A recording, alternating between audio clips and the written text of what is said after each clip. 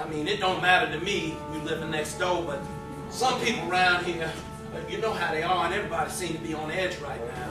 You're not the one who has to go to a new school with a bunch of black bastards and Hey, you don't use that kind of language in my house, boy. This ain't your house, Daddy. Don't you remember?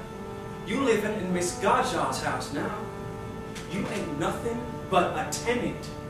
You and Maddie was little, they still had a sign on that laundry uptown. No colors, maids in uniform accepted.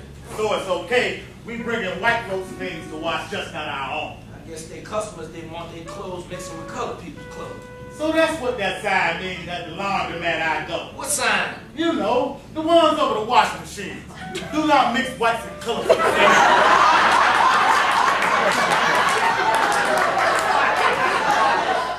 I hear this, this man on the other side of the pump, insurance agent, I guess it was.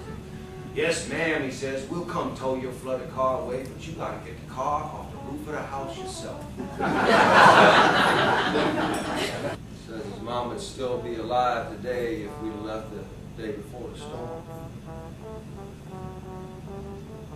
He's not wrong. What we done tonight, it ain't adultery. Well, it sure feels a lot like that must feel. And I can't go back to living that old way. Get up and go to work and come back home again to some empty house, don't even know I'm there. But me, I can't go on living this new way like we're doing, you and me.